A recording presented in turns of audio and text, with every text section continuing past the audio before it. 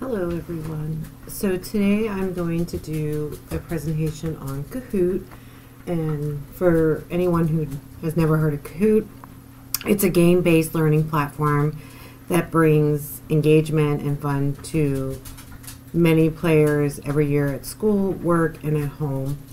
And the plus side, you can sign up for free. Now here it shows you can um, upgrade, but we are going to stick with continuing for free.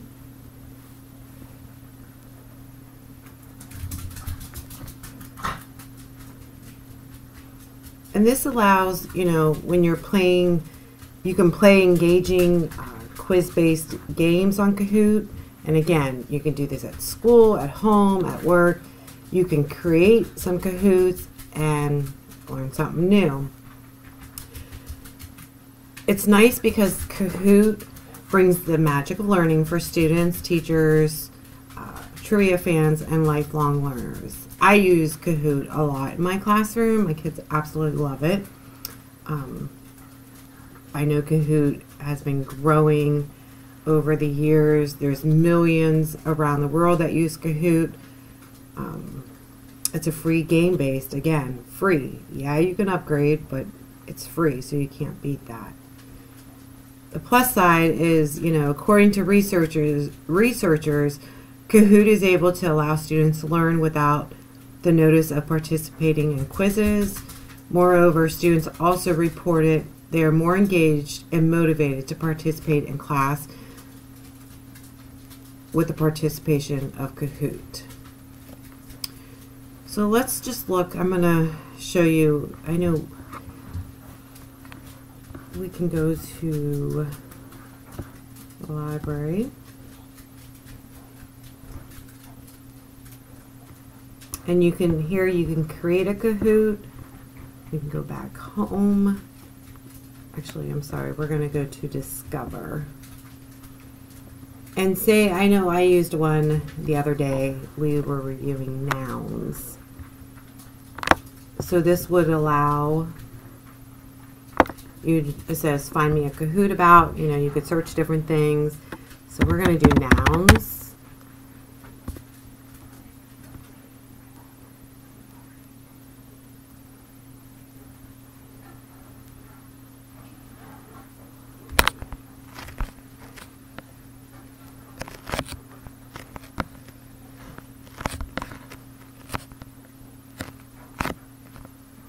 There's different, there's a variety. So here's one, because we were working on like common and proper nouns. And it shows you, you know, how many questions. This one, we have 16. Then you would give the code to the students, and then we could start.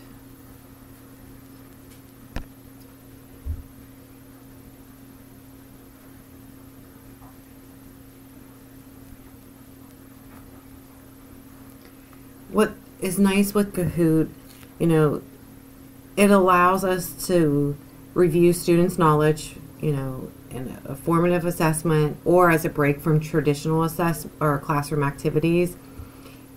It's also among the most popular game-based learning platforms with 70 million monthly active unique users and used by 50% of U.S. K-12 students.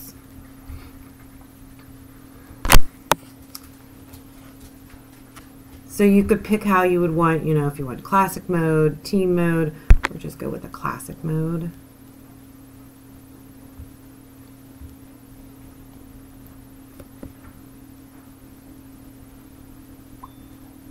And then this is the pin you would give your students. They can log in. You know, they can use cell phones, their iPads, um, Chromebooks. So it's waiting for players, but we're just going to go ahead and start because I just want to kind of show you.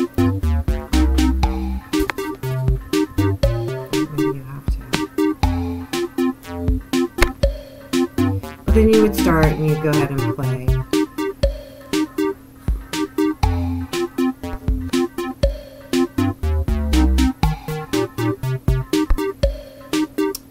So again, Kahoot goes beyond being a fun motivation or reward for students.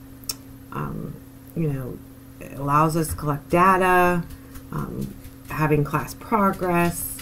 Um, it can help you capture actionable insights and target instruction in any learning environment. So this could be used within any classroom and you can find different, you know, topics. You can create your own. Um, these also can be used, you know, in your class. You can do it during video conferencing. Um, it can, you're going to display questions and answers on those devices live for the students. This can be assigned to student, so it's paced challenges for review or homework. Um, again, you can play individually, you can play in teams. We could always have multiple choice questions. You can be grabbing attention with true and false questions. Um, it's a very friendly user platform. Um, it makes it fun to use. I use this lots in my class. And it's definitely a fan favorite. Students are more engaged when it comes to learning due to how an interactive a platform could, could be.